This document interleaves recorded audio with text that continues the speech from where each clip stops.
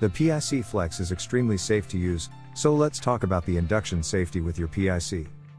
If you attempt to start your PIC without induction ready cookware on top, the F will flash, indicating that your PIC doesn't detect cookware on its surface. After 12 seconds, the display will show an E1 error code letting you know there is no cookware detected.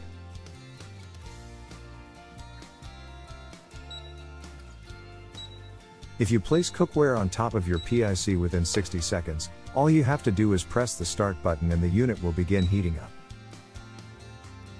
Also, once you are in the cooking process, if you remove your cookware from your PIC, you will have 12 seconds to place it back down, and the unit will recognize it and continue to stay heated automatically.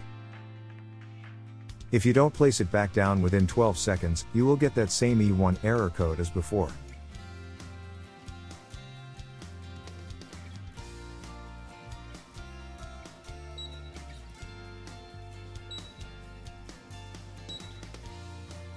This indicates to you that you have 60 seconds to place your cookware back on. If you don't place it within 60 seconds, your PIC will reset back to zero and you will have to re enter your cooking time and temperature.